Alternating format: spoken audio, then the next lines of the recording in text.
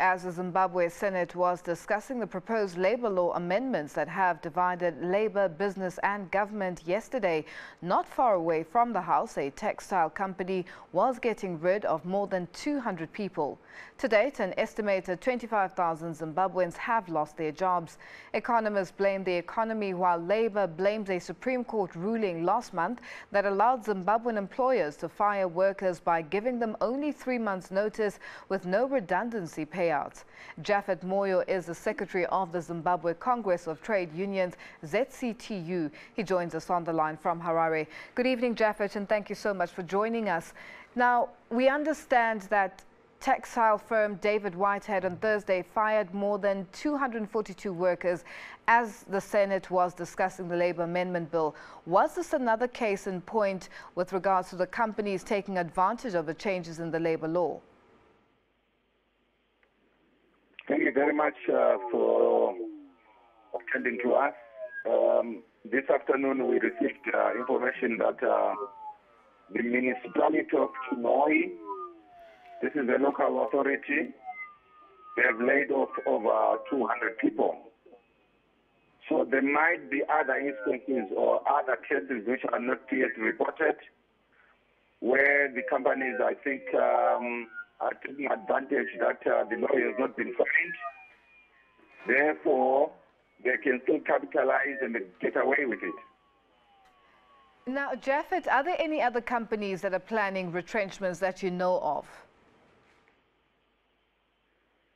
Not at, not at all. Um, it would appear like um, many, many employers in Zimbabwe are taking workers by surprise. No one has indicated uh, with prior notice that uh, this is the action. Uh, workers are merely um, faced with uh, letters as they report for duty, or they are ambushed as they are on their daily work. So no notice is given upfront as to this is what the company is doing, but the people are not confronted with uh, termination letters. So we don't know by tomorrow which company is going to be recruiting people. Uh, this evening we had an experience of uh, the electricity company retrenching the leader of a trade union. Out of 1,500 workers in a workstation, they target one leader of the union. So obviously the law also is being used to destabilize organized labor.